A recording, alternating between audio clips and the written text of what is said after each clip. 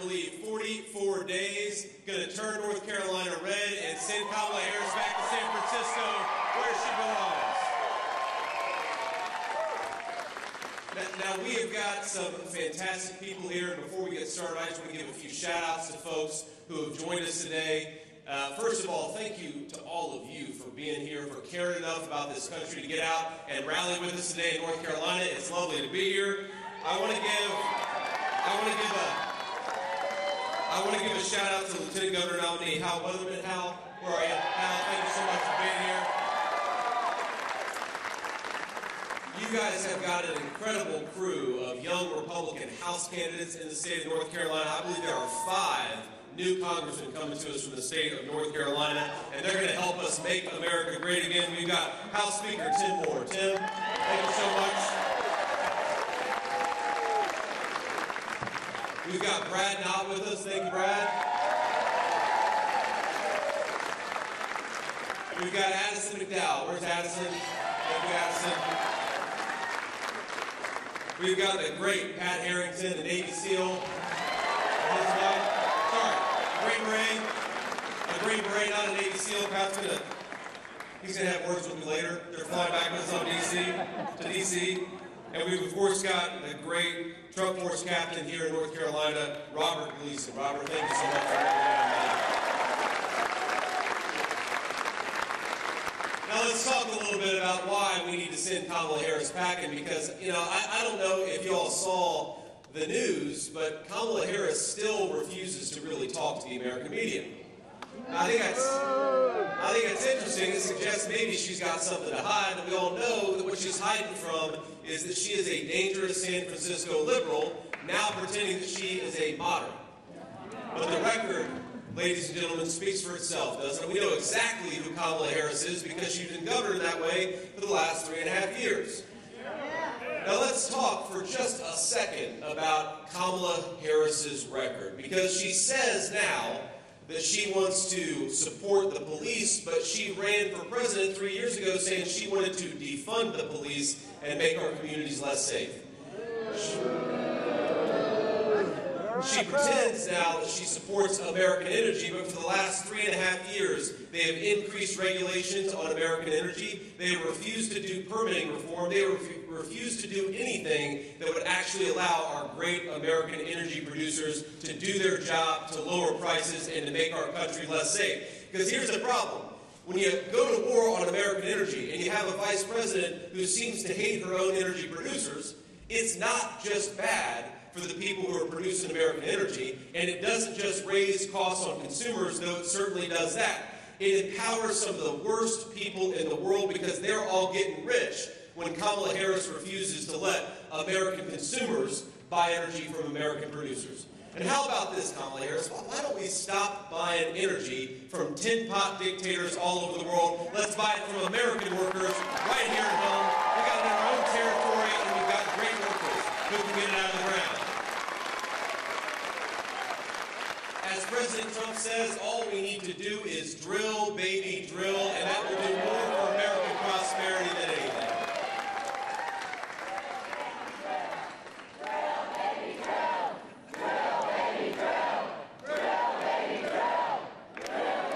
Now, we, we, we of course have a lot of other economic problems in this country, but it is hard to talk about any of those problems without focusing on energy. I was actually just talked or asked backstage by a couple of local reporters, what is the most important thing that we can do to lower costs on American consumers? And the answer really is drill, baby, drill. Now, here's the reason why. Let's just let's just sort of understand this a little bit. When, when you raise the cost of diesel on American truck drivers, well, who do you think's delivering the groceries to the grocery store? So you raise you, you, you raise costs on those truck drivers, you make groceries unaffordable for American consumers. When you raise the cost of energy, American farmers can't grow food at the same in the same way they were before, so that raises the cost of food on American consumers. When you make it harder for the truck drivers to get the lumber to the construction site, then you raise the cost of housing on American consumers. Every time that Kamala Harris, and there's been a lot of them, but every time that Kamala Harris has, make, has made a decision that raises the cost of American energy, she has made basic middle class life less affordable for North Carolinians and people all across our country. And so on November 5th, we're going to say to Kamala Harris, the energy price raiser, you are fired. We're getting back to common sense energy policies. We're getting back to Donald J. Trump.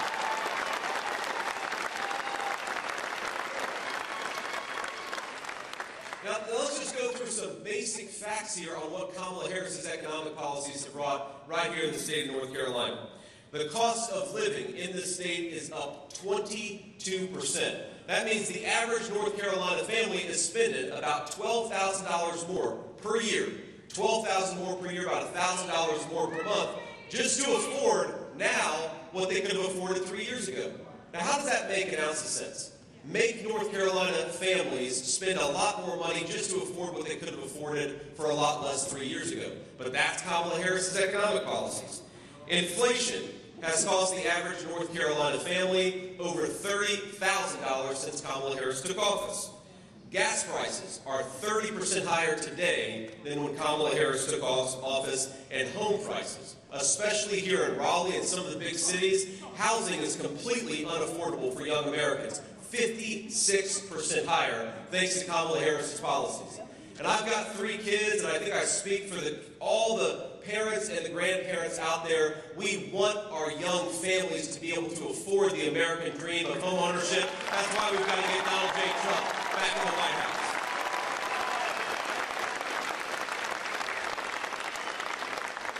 Now, now, I would love for some of our reporters to ask Kamala Harris about some of these policies and why she did all the things that she did, and now she's running away from it. She has flip flopped on literally every single proposal that she ran on in 2020. Now she says she doesn't believe. I mean, she practically is at this point where she could walk into this, this room right now and she could steal one of your red hats, sir, and put it on and say, Make America Great Again, because Kamala Harris is practically just running on the Trump agenda right now. but as much as she's running on the Trump agenda, she has been in office for three and a half years and she hasn't done a damn thing about it. Kamala Harris, stop talking about what you will do, start talking about what you have done, and the answer is not a damn thing.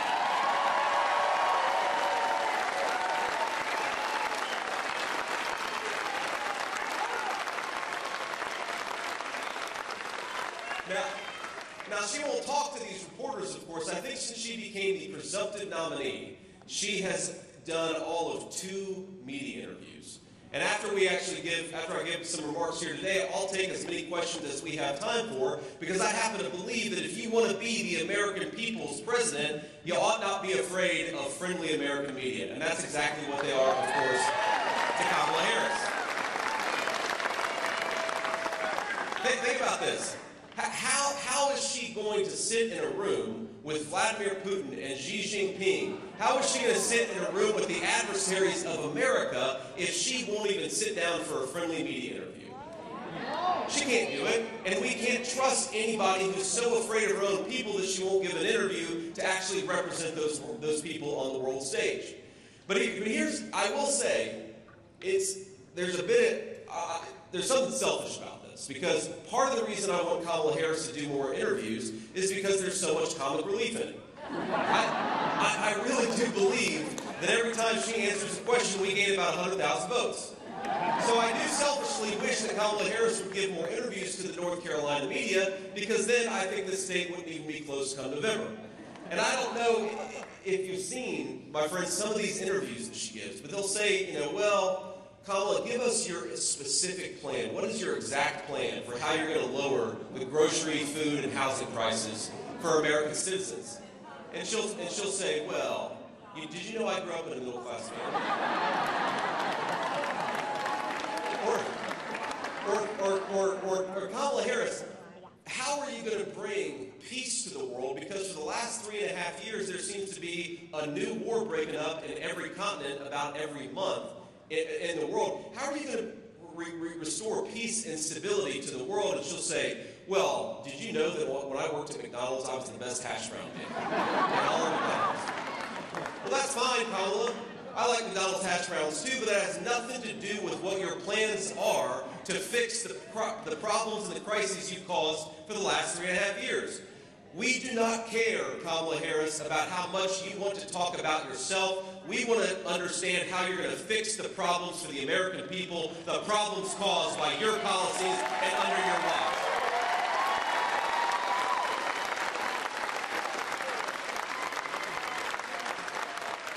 Now, we, we talk a lot about inflation and, and, and the economy, and justifiably so because there are way too many American families struggling. And I want to say to anybody who's here today, anybody who's watching on TV, my friends, I understand that pain very personally because I myself grew up in a family where we very often lived paycheck to paycheck, and a lot of times much worse than that. I remember the, the mamaw who raised me, and I see you got my book there, ma'am, I appreciate it.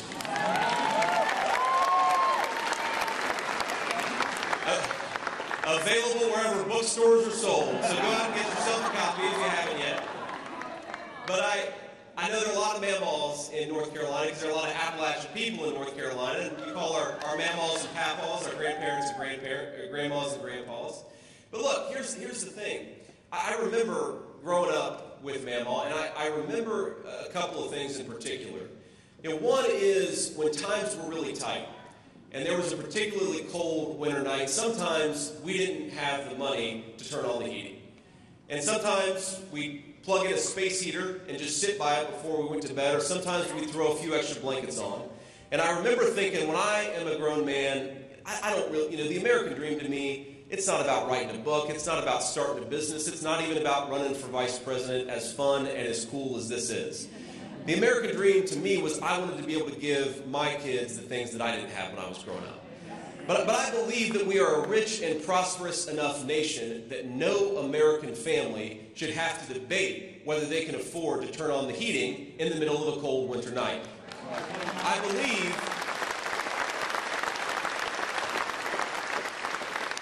I, I, I believe, love you too, I believe that we are a rich and prosperous, don't tell my wife, rich and prosperous enough nation that no matter where you grew up, or no matter where you're from, you ought to be able to afford a nice meal on a Friday night.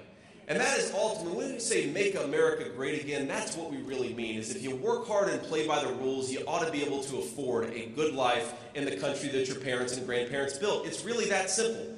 This is, this is not that complicated, and this is not that hard. But it becomes hard to heat your home at night when energy prices are 40% higher it becomes hard to put that nice meal on the table on Friday when food prices are 25% higher. Let's get back to common sense and let's get back to giving every American citizen the good life they deserve. We can do it with better leadership, my friends.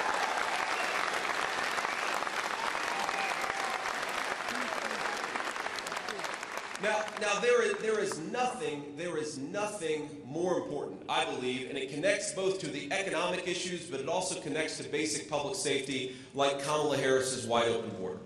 Because if you think about it, why have housing costs gotten so high? There are two basic reasons. Number one, Kamala Harris made it harder in this country to build homes, and she made it, she made it so that our interest rates shot through the roof.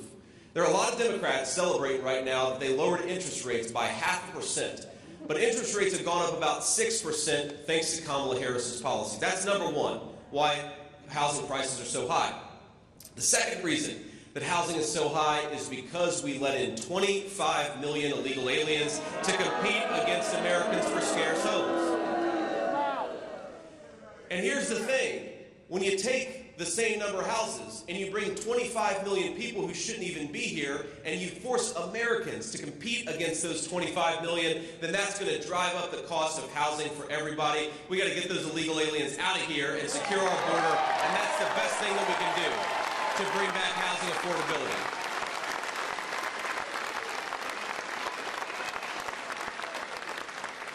Now, we've seen this, by the way, in the state of Ohio. We've seen this in multiple communities across the country. And there's this, this game that Kamala Harris and the Democrats play. The first thing that they do is they will flood a small town or a big city with thousands of migrants who shouldn't be there in the first place. And the second thing they'll do is they'll say, You are a racist if you dare complain about it. And I think it's the most disgraceful thing that Kamala Harris has done this cycle is not just flood this country with cheap labor and people who are competing with you for homes, but they didn't tell you that you're a bad person for daring to speak up and to have a voice about what's going on in your own country. We reject that politics. We reject that censorship. And you know what's what's what's interesting about it is that very often the people who have suffered the most from Kamala Harris's open borders are people of Latino descent, or they're black Americans whose family has been in this country for nine or ten generations. In the town of, of, Springfield, Ohio, which I'm honored to represent, we've heard from a number of residents that there are certain parts of town where they won't even drive because the illegal immigrants who have come in have made it unsafe to be on the roads. And you see the evidence of it, by the way, in skyrocketing car insurance rates. Whose car insurance rates have gone up? You think that has something to do with the fact that there are 25 million drivers on the road who shouldn't be here? And if they didn't follow our laws to get here in the first place, do you think they're following stop signs? Absolutely not. So the housing and everything else affordability crisis is connected to Kamala Harris's open border. And ladies and gentlemen, it did not have to be that way. All I, have been on the border twice, which is I think two more times than our border czar, Kamala Harris. And you know, the, the, the two times that I've gone, you know what really sticks out at me? Is the Border Patrol agents are heartbroken because all they want to do is to be able to do their job. And these people come from every walk of life. When I was last at the border, I, I, spoke to a recent Latino immigrant, a legal immigrant to this country, who joined the Border Patrol because he wants to secure that southern border.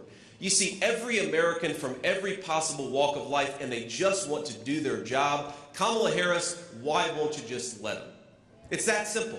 So, to everybody who wants us to have a secure border, we're going to say very simply that Kamala Harris's policy is to suspend deportations. Donald Trump is going to re implement deportations. Yeah.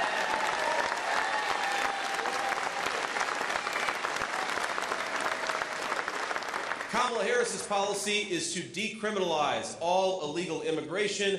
Donald Trump's policy is to enforce the border and build the wall.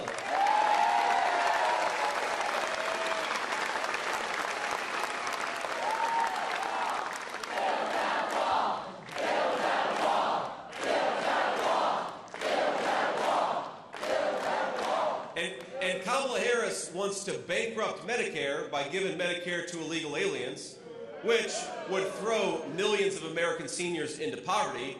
Donald Trump's answer is to send people home who came here illegally. It's that simple. Our message.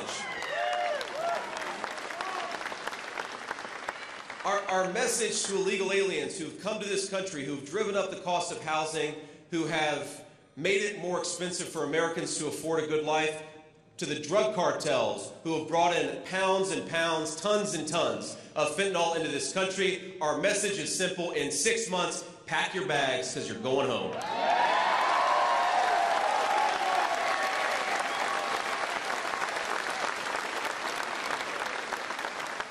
And let me just leave us there because I want to talk a little bit about public safety because, of course, the border issue is so connected to our public safety, but it's not the only reason why we've had rising violent crime rates in this country under the policies of Kamala Harris. Now, just, just think about this. At the RNC convention, you all probably saw this, this wonderful young mother, beautiful woman with a handsome, probably 14 year old kid who talked about her 14 year old son dying of a fentanyl. And how did he die of a fentanyl overdose? He died because he did what a lot of teenagers in this country do. He made a mistake, and that mistake was laced with fentanyl, and it took his life. And I remember after that woman's testimony, which was the most powerful thing I saw at the entire national convention, after that woman's testimony, there were a lot of these, you know, online social media trolls who attacked this woman for daring to speak about what was going on in the country and for daring to talk about her son. And they say nasty, hurtful things like, well, why was your son taking something bad in the first place? And I remember one thinking, what a disgusting person to say that to a young mother who just lost a child. But more importantly, don't all of us want our children to grow up in a country where they can make childhood mistakes and not have it claim their life? I, am the, I'm the father. I'm the father of a seven year old, a four year old, and a two year old. And as every parent will know, kids, especially teenagers, don't do everything that you want them to, to do. In fact, my two year old doesn't do everything I want her to do. But we want our children to grow up in neighborhoods that are safe enough that kids can learn from innocent childhood mistakes and not have it claim their life. We want our children to grow up in safety and security. And whether you're a rich person or a poor person, we think the birthright of every American citizen is to grow up in safe neighborhoods and safe streets. And that's what we're going to bring to North Carolina and everywhere else when we get Kamala Harris out of the Oval Office. Now, look, I, I, I, cannot overstate how crazy this is and how we shouldn't be here. We should not be doing these things to our country. And we have so much going for us. We have the best people. I, I really do believe that we have the best workers, the best technology, the greatest historical traditions of any nation on the face of the earth, my friends. The one thing that we don't have is good leadership. We do not have a vice president who is fit to lead the greatest country in the world. So, in just 44 short days, we get to send a message to Kamala Harris and everybody else you are fired. Go back to your San Francisco home. You can act like a San Francisco liberal there because we are going to elect Donald J. Trump, President of the United States.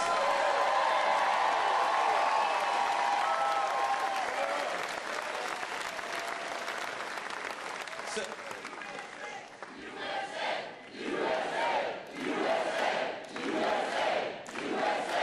so I know we want to take some questions from the media, but I, I'm asked everywhere that I go, what can we do? And what you can do is get as many people to the polls between now and November 5th as you possibly can. Get your friends and your family out there to vote. You know, I'm, I'm sure all of us have somebody in our life, maybe an, an elderly friend, an elderly family member, who can't necessarily drive to the polls. In fact, I've got a woman in my family who's, who's north of 90, and she is a weapon of mass destruction behind a car. But we got somebody, her, her daughter, who's going to make sure she drives to the polls before before November 5th. And we can all do that. We can all be a force multiplier. And here's the other thing that I want all of us to do. And I'm going to give us just a few seconds to do it right now. I want everybody to take out their phones, if you can. I'm sure most of us have phones in here. Um, and, and take out your phones. Take either a photo, take a selfie of yourself, take a photo of me while I'm up here. And I'm going to ask you to go to whatever social media you use, whether it's Facebook or X or anything else, and get out there and post that story. And not just post it, not just post a picture, but give one reason why you're going to vote for Donald J. Trump. Because we, we are never going to have the media behind us. We are never going to have the big tech oligarchs behind us. But what we do have in this country is we've got the truth behind us and we've got the power of people behind us. So let's get that people power out there. Let's march every single day. Let's knock on every single door. Let's make every phone call that we can, and let's win this race and take this country back. Our country deserves better leadership, and we're the ones who are going to make sure they have it. God bless you guys. Thank you.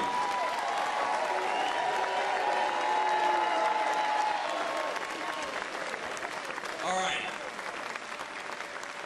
Now, I think we've got at least five, ten minutes to take some questions from the reporters in the back. Uh, I would ask that we start out with local reporters, uh, and then if we've got time afterwards, we'll go to the national folks. Sir. Hey, Jeff Moore, Carolina Journal. Thanks for being here. I saw you at a football game this weekend. wondering, as you work your way across the country, what your impression is about your interactions with voters in North Carolina and the policy successes of North Carolina over these last 10 or 15 years do you draw any inspiration there that you would like to take up to DC?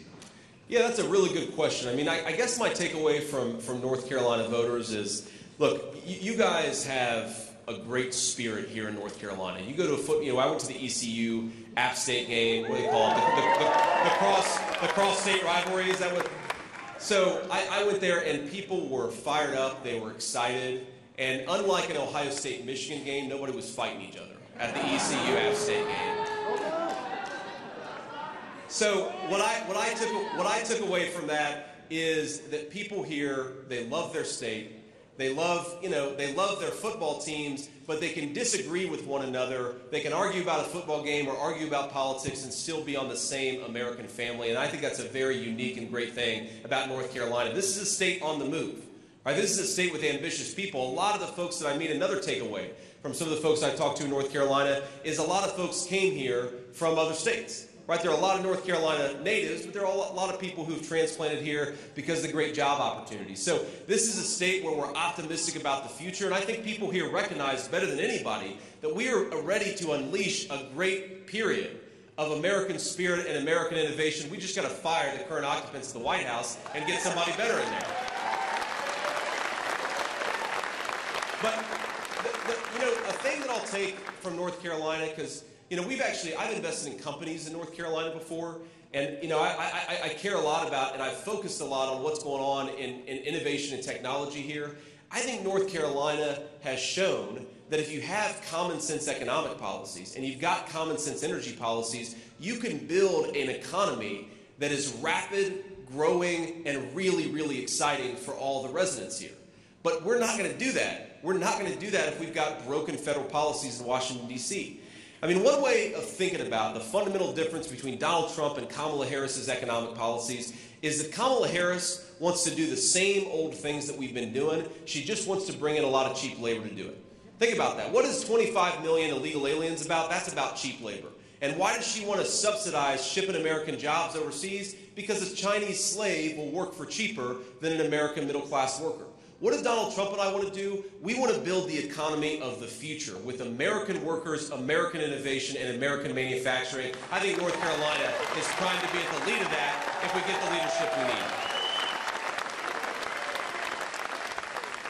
Yes, ma'am. Hi, Sydney McCoy with Spectrum News 1. So North Carolina has a lot of businesses, but we also have a lot of retirees, and Sure. that's expected to grow as well. So do you guys have a plan to increase or decrease taxes on 401ks, especially for retirees? Well, one of the things the president just came out with last week actually is eliminating taxes on Social Security income, which of course would be huge for a lot of our retirees. And I think that, look, we, we, we have to recognize that as much as everybody has suffered under Kamala Harris's affordability crisis, the people who, who've often suffered the most, it's very often our grandparents, right? Because they're living on a fixed income. They can't just go out at 72 and get another job when times get really tight.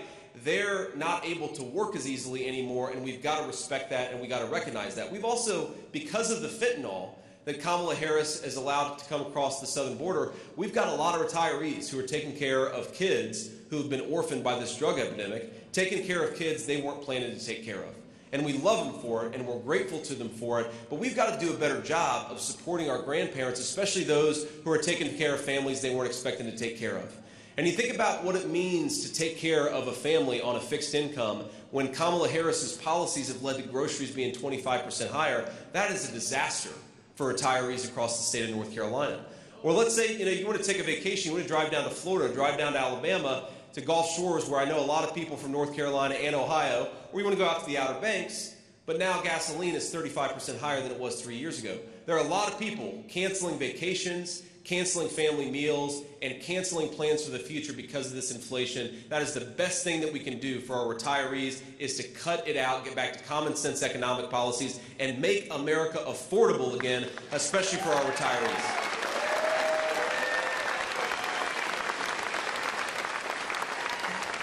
Senator Vance, AP Dillon, Yes, North. State Journal. Thank you for taking my question. You had talked earlier about energy independence. Uh, could you expand on that just a little bit more? Are we talking opening up gas leases, or what does that have an impact for North Carolina, and how will that impact the, basically the eastern coast? Well, there are a few different things that we have to do. Number one, the Harris campaign the Harris vice presidency has imposed a number of PowerPoint regulate, sorry, power plant regulations that are absolutely nonsensical and raise the cost of energy for North Carolina consumers. The second thing is we've got a lot of natural gas capacity uh, all across our country. We don't have the pipelines to get this stuff where it needs to go. And Kamala Harris has got to stop shutting down pipelines. We need to be opening up pipelines, lowering costs for American consumers and everybody else. I, I, I want to make one more point just very specifically because people very often don't realize the connection between energy and food prices. And it's connected in a whole host of ways. But you know one other way it's connected is you know what the main fertilizer that we're using in our farms is derived from natural gas. So if you jack up the cost of natural gas, you're going to make farming more expensive, you're going to make food more expensive.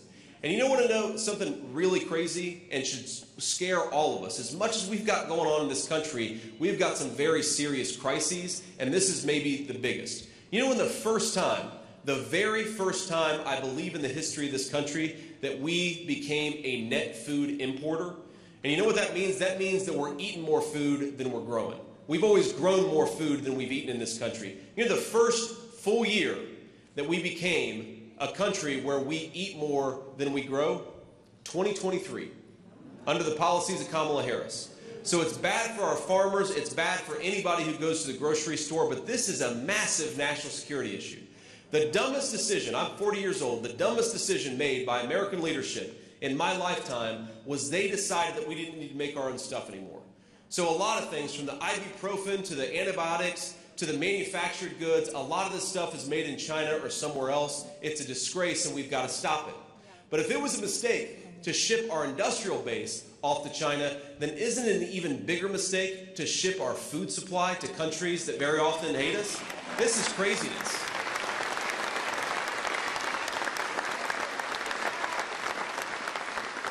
So our plan is very simply manufacture more in the United States of America, grow more food in the United States of America, self-reliance, American jobs for American workers. That is the path to prosperity and also to national security. Thank you. Ma'am.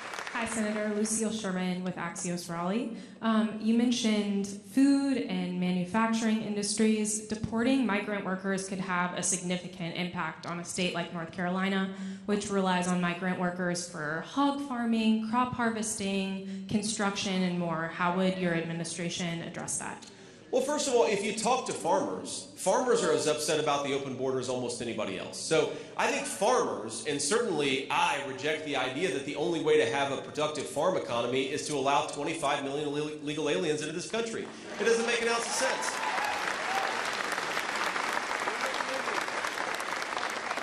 Again, we cannot import cheap labor. We cannot import 25 million illegal aliens and expect that that is going to be the path to prosperity. It doesn't work like that. And we've now tried this for three and a half years. Think about it. The Kamala Harris argument is that if you let in millions upon millions of low wage illegal laborers, that is going to make everybody better off. Well, she's been running that experiment for the last three and a half years, and I don't think many of us feel better off, do we? So let's try a different approach, lean into the future, but do it with American workers and American products.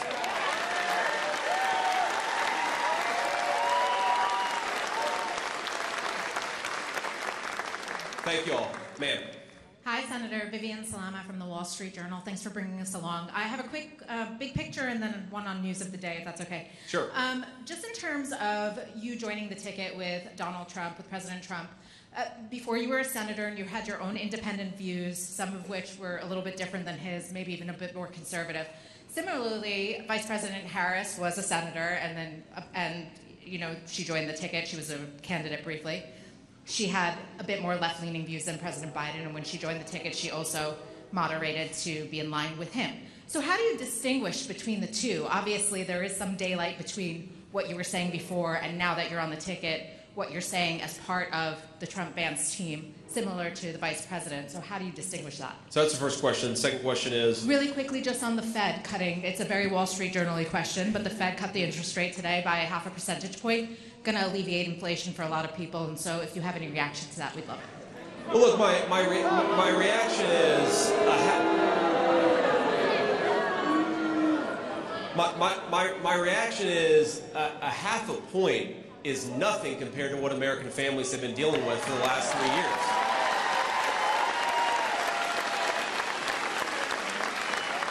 You know, when, when, when Donald, when, when Donald, when Donald Trump left office, a lot of Americans were getting 3 4% mortgages. Now they're getting 8% mortgages. A half a point is not going to help those families a whole lot. It's better than nothing.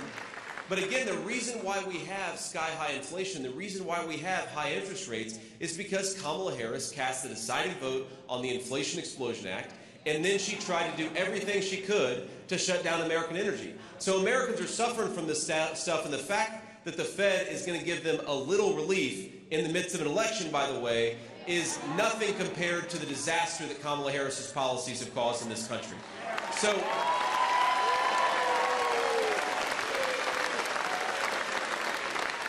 on, on, on, your, on your first question about, look, daylight between me and President Trump and Kamala Harris's daylight between Biden. First of all, there's one big difference on this account. And look, yes, I have changed my mind on things over the years. You know the difference between me and Kamala Harris? Is because is I actually stand in front of the American people and explain why. If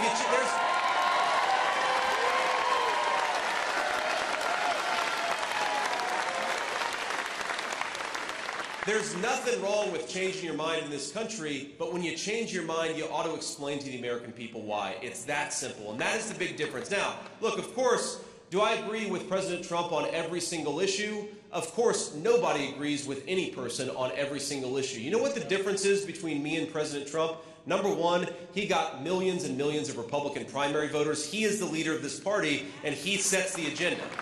So, of course, so, so look, of course, of, of course, the difference, and, and it's funny that Democrats want to focus on this, the big difference between President Trump and Kamala Harris is votes. He actually got the votes of Republican primary voters, and Kamala Harris never did.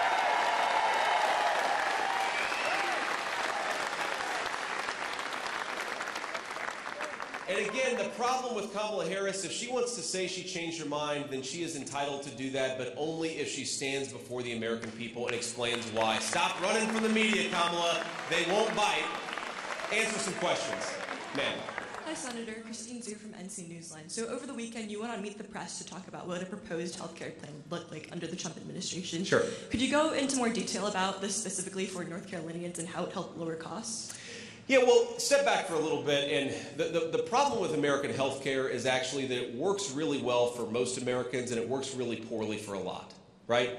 Um, so if, if you don't have major health problems, if you just go to the doctor a few times a year to check in, maybe if you've got, you know, the flu or something like that, American healthcare actually works okay. But if you've got a serious condition, if you've got a chronic condition, that's where American healthcare is a complete disaster. And whether you're getting healthcare at the Veterans Administration, whether you're on Medicare, or whether you have private insurance, healthcare, if you've got a chronic condition, is a really, really significant problem. And we have got to fix healthcare for everybody, right? And look, the problem with, with what we've seen over the last few years is I talk to a lot of people, and the biggest complaint they have is they are paying more and more for health insurance premiums, and they're getting less and less out of it. Now, again, if you only go to the doctor once a year for a physical, maybe that doesn't bother you as much. But if you're going to the doctor three, four, five, six, seven times a year, our healthcare system is a disaster and we have got to fix it. We really do. Now, in, in, in terms of specific plans, look, the biggest problem with our healthcare system right now is that you have a lot of federal regulations that don't make sense for the healthcare system that we actually have. That's number one. Number two, and so we're gonna we're gonna actually implement some regulatory reform in the healthcare system that allows people to choose a health care plan that works for them. If you only go to the doctor once a year, you're going to need a different healthcare plan than somebody who goes to the doctor 14 times a year because they've got chronic pain or they've got some other chronic condition.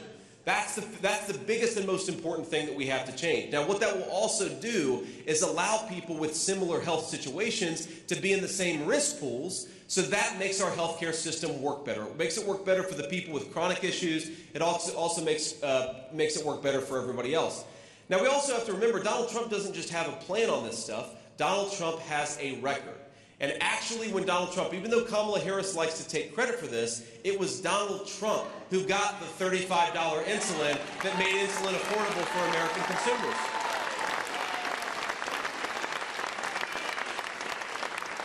And the final point I make on this one of the most expensive, significant healthcare costs in our country is, of course, prescription drugs.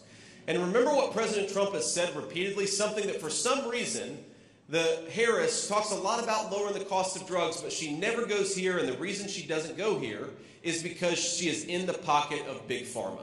And what Donald Trump has said is that Europeans are paying way less for prescription drugs than Americans are. We should let companies bring in drugs from Europe, lower the cost of prescriptions for American consumers, and make everybody better off and healthier in the process.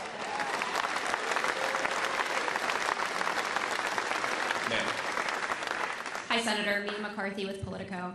Um, question for you about the Haitian migrants in Springfield.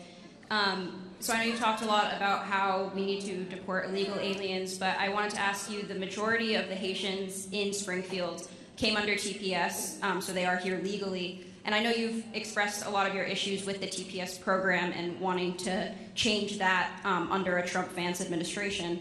But I guess my question for you is if you become the vice president under a Trump administration, what will you guys do about the migrants that are already there since they did arrive legally? Um, and a follow up to that, if you plan to deport them, how would you do that legally? Well, look, th- this is this is a media and Kamala Harris fact check that I want to I want to clarify and clear up right now. And here's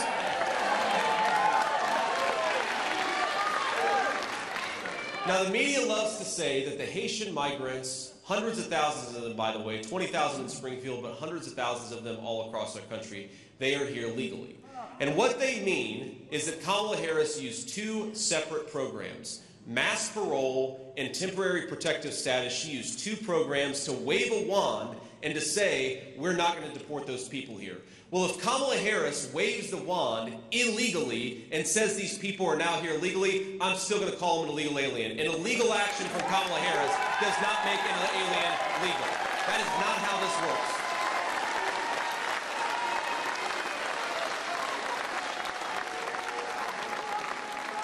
And, and again, I just I want to focus our, our attention, my friends, on how much the media is gaslighting us and, and lying us to us about this.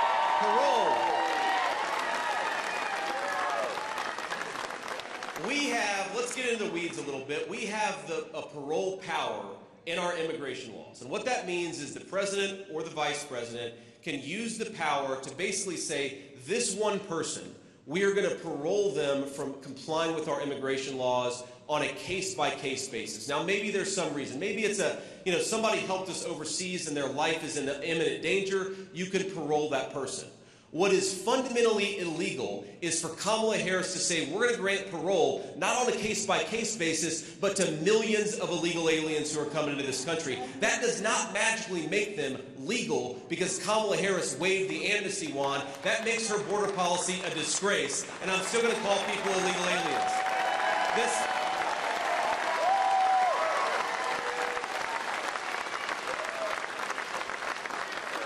And, and just think, I mean, think about the shamelessness required from Kamala Harris.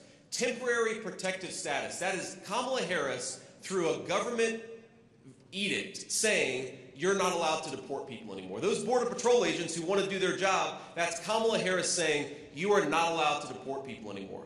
So Kamala Harris says you can't deport people, and then she says you're also now legal instead of illegal. That is completely bogus. That is straight out of George Orwell. None of us buy it. And here's here's here's the final point that I'll make on this. Who who consented? Who in this room, who in this country consented to allowing millions of aliens to come into this country unchecked, unvetted? None of us did. None of us did. And the game the media has played here, again, this, this two step that Kamala Harris does, I think it's the most disgraceful thing that she has done her, in her entire campaign. She's going to say, on the one hand, we're going to let in millions of illegal aliens to make your housing costs higher, to make your hospitals overwhelmed, to make your local schools impossible for your children to learn in. She's going to do that, and on the other hand, if you dare complain about it, you are a racist. Kamala Harris, I think that's disgraceful. You ought to have respect enough for your own people to enforce their border laws and listen to them. Listen to them when they complain about it. Don't pretend they're bad people. And look, I, I think I speak I think I speak for every person in here, and I think I speak for a lot of people, a lot of undecided voters, but certainly a lot of Republicans, independents, and Democrats who are voting for Donald Trump. We are allowed, under the First Amendment to this country, to tell our leaders that they're doing a bad job. We are allowed, Kamala Harris, to tell you you got to stop importing millions of low-wage foreigners into our country.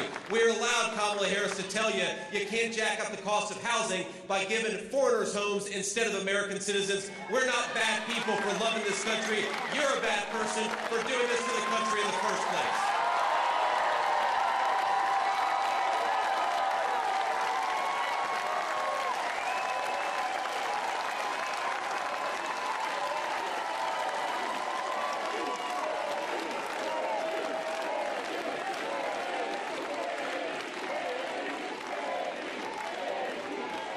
Thank you, thank you.